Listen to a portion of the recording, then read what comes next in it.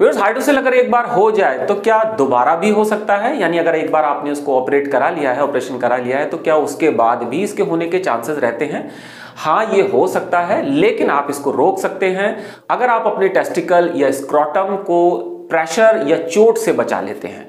अब प्रेशर का मतलब यह है कि अगर आप वेट लिफ्टर हैं, आप हैवी वेट काम करते हैं, कोई भी चाहे घरेलू हो या बाहर का, या फिर आप जिम करते हैं, या कोई और दूसरा हैवी हैवी लोड का काम करते हैं तो उसमें आपको ध्यान रखना है कि स्क्रॉटम यानी टेस्टिकल हमारी जांगों के बीच में ना दब जाए।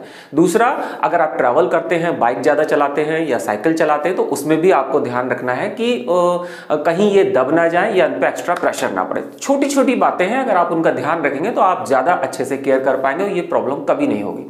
दूसरी बात यह है कि अगर आप कोई एथलीट हैं या फिर आप किसी स्पोर्ट में हिस्सा ले रहे हैं तो आपको ये चीज़ का ध्यान रखना है कि आपको जॉक स्ट्रैप यूज़ करनी है, जो कि गार्ड के साथ में आती है, कुछ इस तरह की जो स्क्रीन पे आपके दिख रही है। ये एक प्लास्टिक का कवर टाइप का होता है, जो कि आपके पूरे प्राइवेट पार्ट को सपोर्ट देता है।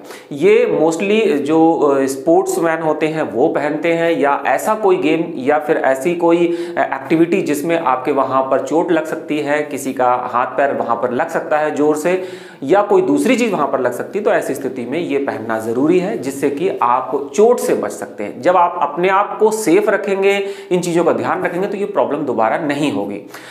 जो लोग जिम करते हैं उनका ये सवाल रहता है कि क्या हम नॉर्मल अंडरवेयर पहन के जिम कर सकते हैं?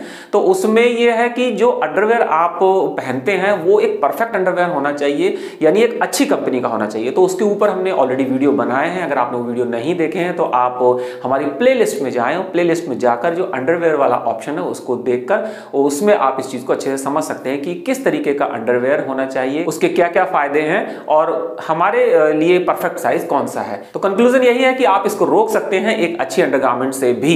बिकॉज़ जो अच्छी अंडरगारमेंट्स होती हैं, जो हमने उन वीडियोज़ में बताई हैं, उनमें आगे प्राइवेट पार्ट के लिए एक कप टाइप का बना होता है, जो कि आपके प्राइवेट पार्ट को अच्छे से होल्ड करके रखता है। साथ ही साथ उनका टेम्परेचर भी मेंटेन रखता है, जिससे कि हार्मोनल बैलेंस भी सही रहता है और स्पम काउंट भी ठीक रहता है।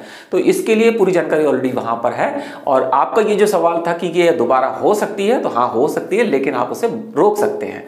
तो नेक्स्ट वीडियो में फिर मिलेंगे। एक नए टॉपिक के साथ। Till then keep smiling see you in next video